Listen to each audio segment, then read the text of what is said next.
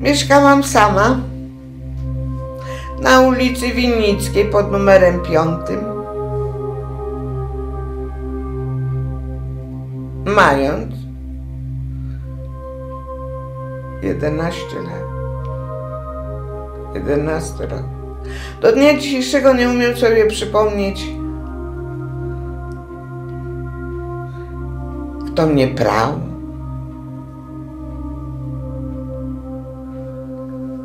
Gdzie ja jadła. Niektórych rzeczy nie chciałam pamiętać, żeby zapadły w moją, żebym nigdy już o tym nie myślała. Warszawa była straszna.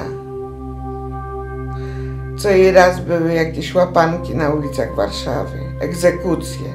Sama widziałam na rogu Wawelskiej egzekucje, gdzie przywieziono więźniów z zakneblowanymi ustami. Nie wiem, mówiono, że to gipsem.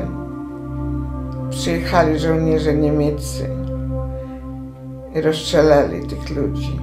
Załadowane to trupy na ciężarówkę i wywieziono.